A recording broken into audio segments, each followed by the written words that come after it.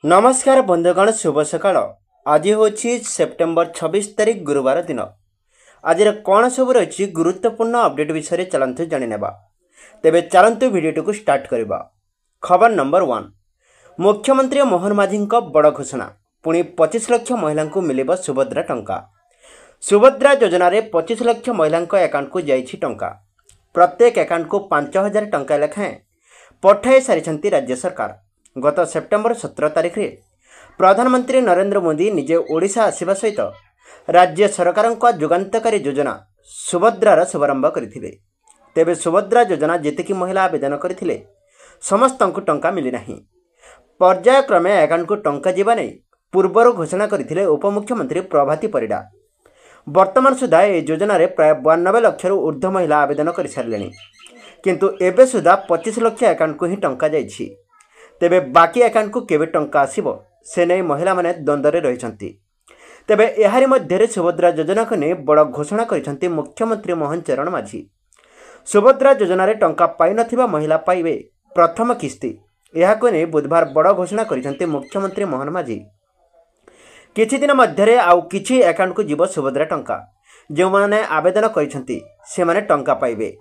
ଖବର ନମ୍ବର ଦୁଇ। ଛଅ ହଜାର ବଦଳରେ ମିଳିବ ଦଶ ହଜାର। ଚାଷୀଙ୍କୁ ଦୀପାବଳି ଆଗରୁ ମିଳିବ ବଡ଼ ଭେଟି। ଯଦି ଆପଣ ମଧ୍ୟ ପ୍ରଧାନମନ୍ତ୍ରୀ କିଷାନ ନିଧିର ହିତାଧିକାରୀ ତେବେ ଖବର ପଢ଼ିବା ପରେ ନିଶ୍ଚିତ ଭାବରେ ଆପଣଙ୍କ ମୁହଁରେ ଖୁସି ଆସିବ। ପୁଣି ଥରେ ପ୍ରଧାନମନ୍ତ୍ରୀ କିଷାନ ନିଧି ବୃଦ୍ଧି ହେବାର ଖବର ଆସୁଛି। କିନ୍ତୁ ଯେତେବେଳେ ଜୁଲାଇ ତେଇଶରେ ଦୁଇହଜାର ଚବିଶ ପଚିଶ ଆର୍ଥିକ ବର୍ଷ ପାଇଁ ସମ୍ପୂର୍ଣ୍ଣ ବଜେଟ୍ ଉପସ୍ଥାପିତ ହେଲା ଲୋକମାନେ ନିରାଶ ହୋଇଥିଲେ। ଏବେ ପୁଣି ଥରେ କୃଷକଙ୍କ ପାଣ୍ଠି ବୃଦ୍ଧି ହେବାର ଖବର ଆସିଛି। ଯଦିଓ ଏପର୍ଯ୍ୟନ୍ତ କୌଣସି ସରକାର ଭାବେ ହୋଇନାହିଁ ଆମେ ଆପଣଙ୍କୁ କହିବୁ ଯେ ବଜେଟ୍ ପୂର୍ବରୁ ଅନେକ କୃଷି ବିଶେଷଜ୍ଞ କେନ୍ଦ୍ର ଅର୍ଥମନ୍ତ୍ରୀ ନିର୍ମଳା ସୀତାରମଣଙ୍କୁ ଭେଟିଥିଲେ। ସେହି ସମୟରେ ଚାଷୀଙ୍କ ପାଇଁ ପାଣ୍ଠି ବୃଦ୍ଧି ବିଷୟରେ ଆଲୋଚନା ହୋଇଥିଲା। ଯେଉଁଥିରେ କୁହାଯାଇଥିଲା ଯେ ପ୍ରଧାନମନ୍ତ୍ରୀ କିଷାନ ନିଧି ଅଧୀନରେ କୃଷକମାନଙ୍କୁ ଦିଆଯାଇଥିବା ଅର୍ଥର ପରିମାଣ ଛଅ ହଜାରରୁ ଆଠ ହଜାର ଟଙ୍କାକୁ ବୃଦ୍ଧି କରାଯାଉ। କିନ୍ତୁ ବଜେଟ୍ରେ ସେପରି କୌଣସି ଘୋଷଣା କରାଯାଇ ନାହିଁ। କିନ୍ତୁ ବର୍ତ୍ତମାନ ଅଠରତମ କିସ୍ତି ଆସିବାକୁ ଯାଉଛି। ଏଭଳି ପରିସ୍ଥିତିରେ ପାଣ୍ଠି ବୃଦ୍ଧି ହେବାର ଖବର ଆସିବାରେ ଲାଗିଛି। ଏଥର ଏ ଟଙ୍କା ଚାରି ହଜାର ବୃଦ୍ଧି ହେବାର ଖବର ରହିଛି। ବର୍ତ୍ତମାନ ପ୍ରଧାନମନ୍ତ୍ରୀ କିଷାନ ଯୋଜନାରେ ଅଧୀନରେ ଦେଶର କ୍ଷୁଦ୍ର ଓ ମଧ୍ୟମ କୃଷକମାନଙ୍କ ବାର୍ଷିକ ଛଅ ହଜାର ଟଙ୍କା ଦିଆଯାଏ। ସରକାର ଅଠରତମ କିସ୍ତି ପାଇଁ ହିତାଧିକାରୀଙ୍କ ତାଲିକା ପ୍ରସ୍ତୁତ କରିବା ଆରମ୍ଭ କରିଛନ୍ତି। କୁହାଯାଉଛି ଯେ ଦୀପାବଳି ପୂର୍ବରୁ ଦୁଇ ହଜାର ଟଙ୍କା କିସ୍ତି ଚାଷୀଙ୍କ ଆକାଉଣ୍ଟକୁ ହସ୍ତାନ୍ତର କରାଯିବ। ଏବେ ପ୍ରଶ୍ନ ଉଠୁଛି ଯଦି ବାର୍ଷିକ ଦଶ ହଜାର ଟଙ୍କା ହେଉଛି ତେବେ ଚାଷୀଙ୍କ ଆକାଉଣ୍ଟକୁ କେତେ ଟଙ୍କା ଟ୍ରାନ୍ସଫର ହେବ?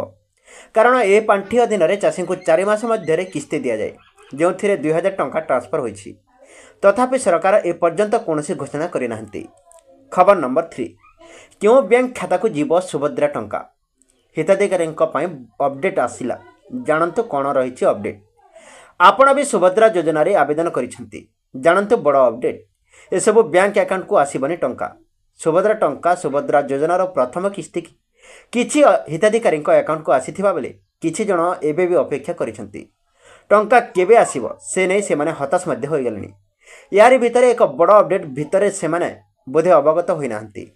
ସବୁ ଯୋଗ୍ୟ ହିତାଧିକାରୀମାନଙ୍କ ଆକାଉଣ୍ଟକୁ ସୁଭଦ୍ରା ଟଙ୍କା ଯିବ ବୋଲି ପୂର୍ବ ଉପମୁଖ୍ୟମନ୍ତ୍ରୀ ସୂଚନା ଦେଇଥିଲେ। ତେବେ କେଉଁମାନଙ୍କ ଖାତାକୁ ସୁଭଦ୍ରା ଟଙ୍କା ଯିବ ଆସନ୍ତୁ ପୁରା ଜାଣିବା।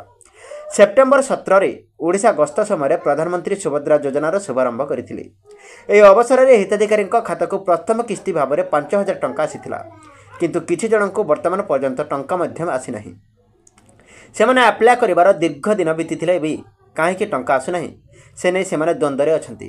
କେଉଁ ବ୍ୟାଙ୍କ ଖାତାକୁ ଟଙ୍କା ଯିବ କେଉଁ ଖାତାକୁ ଟଙ୍କା ଆସିବ ନାହିଁ ବ୍ୟାଙ୍କ ଖାତାରେ ଆଧାର ଇ କେ ୱାଇ ସି ସମସ୍ୟା କିମ୍ବା ଅନ୍ୟ କୌଣସି ଅସୁବିଧା ଯୋଗୁଁ ସରକାରଙ୍କ ତରଫରୁ ଟଙ୍କା ପଠାଯାଇଥିଲେ ମଧ୍ୟ ପହଞ୍ଚିବାରେ ବିଳମ୍ବ ହେବ କିମ୍ବା ଅଟକିଯିବ ସରକାରଙ୍କ ଅନୁଯାୟୀ ସୁଭଦ୍ରା ଟଙ୍କା ସିଧାସଳଖ ବ୍ୟାଙ୍କ ଆକାଉଣ୍ଟରେ ଜମା ହେବ ହିତାଧିକାରୀମାନେ ପ୍ରଦାନ କରିଥିବା ନିଜ ବ୍ୟାଙ୍କ ଆକାଉଣ୍ଟରେ ସୁଭଦ୍ରା ଟଙ୍କା ଆସିବ ସେହି ବ୍ୟାଙ୍କ ଆକାଉଣ୍ଟକୁ ଟଙ୍କା ଯିବ ଯେଉଁଥିରେ ଡିବିଟି ସକ୍ଷମ ଥିବ ଗୋଟିଏ ବ୍ୟାଙ୍କରୁ ଅନ୍ୟ ଏକ ବ୍ୟାଙ୍କ ଆକାଉଣ୍ଟକୁ ସିଧାସଳଖ ଟଙ୍କା ଟ୍ରାନ୍ସଫର ସୁବିଧା ଥିବା ଖାତାକୁ ସୁଭଦ୍ରା ଟଙ୍କା ପ୍ରଦାନ କରିବେ ସରକାର ଯଦି ଏମିତି ସୁବିଧା ନଥିବ ତେବେ ସେହି ଆକାଉଣ୍ଟକୁ ଟଙ୍କା ଆସିବ ନାହିଁ। କେବଳ ସେତିକି ନୁହେଁ ଆଧାର ସଂଯୋଗ ଥିବା ବ୍ୟାଙ୍କ ଆକାଉଣ୍ଟକୁ ହିଁ ଟଙ୍କା ଆସିବ। ଏହାରି ଭିତରେ ପ୍ରାୟ ବୟାନବେ ଲକ୍ଷ ପାଖାପାଖି ଲୋକେ ସୁଭଦ୍ରା ଯୋଜନା ପାଇଁ ଆବେଦନ କରିଥିଲେ। ଆମେ ପଚିଶ ଲକ୍ଷ ଏଗାର ହଜାର ଲୋକଙ୍କୁ ଦେଇଛୁ। ଆହୁରି ଗୋଟିଏ ସପ୍ତାହ ଭିତରେ ଏକ କୋଟି ଲୋକଙ୍କୁ ଆବେଦନ ବୋଧେ ଆସିଥିବ। ଇ କେୱାଇସି ପାଇଁ ଟିକେ ସମୟ ଲାଗୁଛି ବୋଲି କହିଛନ୍ତି ପ୍ରଭାତୀ ପରିଡ଼ା। ସୁଭଦ୍ରା ଯୋଜନା କୋଟିଏ ଲୋକଙ୍କ ପାଖରେ ପହଞ୍ଚିବା ପାଇଁ ଏକରୁ ସ୍ଲାବ୍ ହେବ। ପୁଣି ଲୋକଙ୍କୁ ଦିଆଯିବ। ଯେଉଁମାନେ ଆବେଦନ କରିଛନ୍ତି ସରକାରଙ୍କ ସମସ୍ତଙ୍କର ଭେରିଫିକେସନ୍ କରିବ। ଏଥିରେ ପଚିଶ ଲକ୍ଷ ଏଗାର ଜଣଙ୍କ ପାଖରେ ପହଞ୍ଚିବୁ। ସେ ସିଷ୍ଟମ୍ ସୁବିଧା ଅଛି ବୋଲି କହିଛନ୍ତି ଉପମୁଖ୍ୟମନ୍ତ୍ରୀ। ଖବର ନମ୍ବର ଚାରି। ଆସନ୍ତା ମହିଳା ପର୍ବରେ ମିଳିବ ସୁଭଦ୍ରା ଟଙ୍କା ଘୋଷଣା କଲେ ମୁଖ୍ୟମନ୍ତ୍ରୀ। ସୁଭଦ୍ରା ଯୋଜନା ନେଇ ମୁଖ୍ୟମନ୍ତ୍ରୀ ମୋହନ ମାଝୀଙ୍କ ବଡ଼ ସୂଚନା ଦେଇଛନ୍ତି। ଆଗକୁ ଆସୁଥିବା ମହିଳାଙ୍କ ପର୍ବରେ ଆଉ ଏକ ପର୍ଯ୍ୟାୟ ସୁଭଦ୍ରା ଟଙ୍କା ପ୍ରଦାନ କରାଯିବ।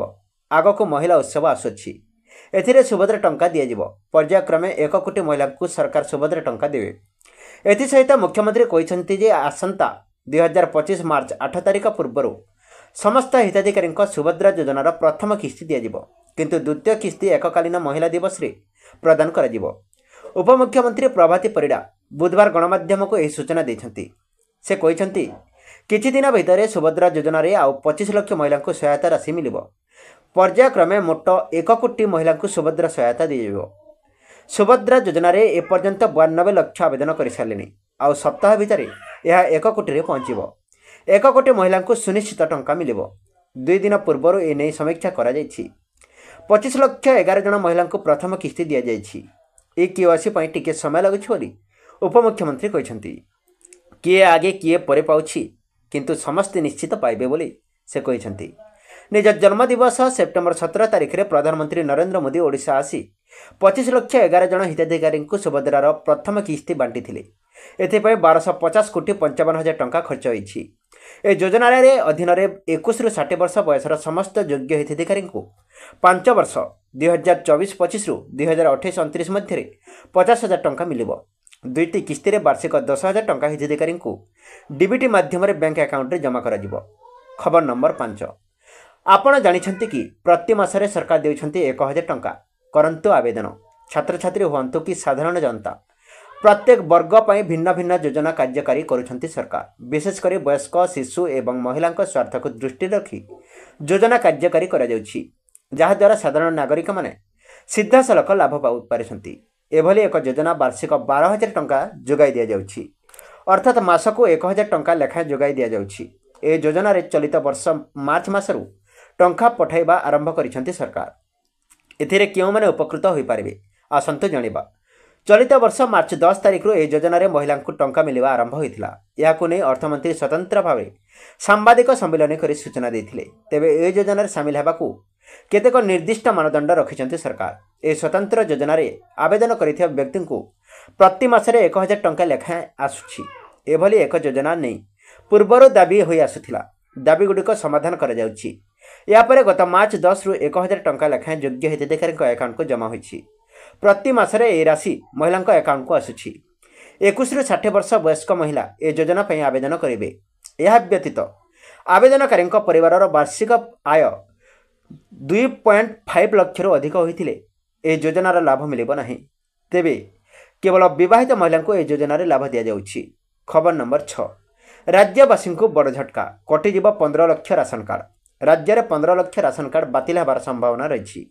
ଏ କାର୍ଡ଼ଧାରୀମାନେ ଇ କେୱାଇସି ପ୍ରକ୍ରିୟାରେ ଅଯୋଗ୍ୟ ବୋଲି ଜଣାପଡ଼ିଛି। ଅଯୋଗ୍ୟ ରାସନ କାର୍ଡ଼ଧାରୀଙ୍କ ଚିହ୍ନଟ କରିବା ପାଇଁ ରାଜ୍ୟ ସରକାର ଇ କେୱାଇସି ପ୍ରକ୍ରିୟା ଗ୍ରହଣ କରିଛନ୍ତି ଯାହାର ଏକ ଅଂଶ ଭାବରେ ବାୟୋମେଟ୍ରିକ୍ ପଞ୍ଜୀକରଣ ବାଧ୍ୟତାମୂଳକ କରାଯାଇଛି। ଇ କେୱାଇସି ପ୍ରକ୍ରିୟା ଛଅ ମାସ ଧରି ଚାଲିଥିଲା ଏବଂ ଚଳିତ ବର୍ଷ ମାର୍ଚ୍ଚରେ ଶେଷ ହୋଇଥିଲା। ତେବେ ପ୍ରାୟ ପନ୍ଦର ଲକ୍ଷ କାର୍ଡ଼ଧାରୀ ଏହି ଇ କେୱାଇସି ପ୍ରକ୍ରିୟାରେ ସାମିଲ ହୋଇନଥିଲେ।